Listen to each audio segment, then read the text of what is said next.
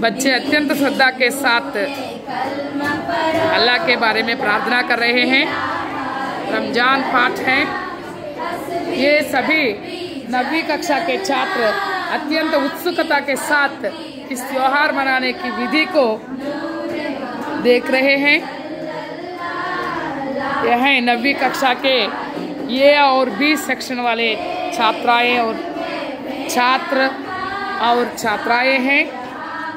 यहाँ अल्लाह भगवान, अल्लाह का चित्र रखा गया है और यहाँ प्रसाद के रूप में मिठाइयाँ और खजूर रखे गए हैं और यहाँ श्याम पट पर रमज़ान पाठ के बारे में चित्रों के रूप में दिया गया है।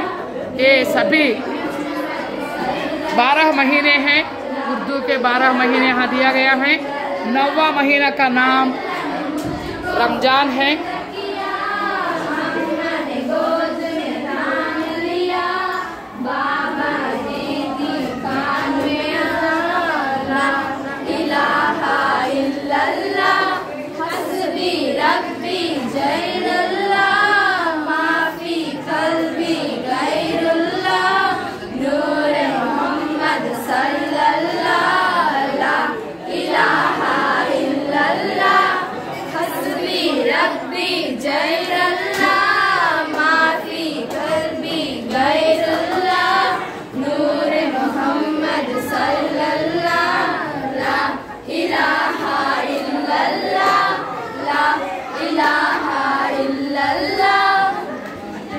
बहुत अच्छा बहुत अच्छी तरह ये त्यौहार मनाए हैं जोरदार तालियाँ बजा रहे हैं।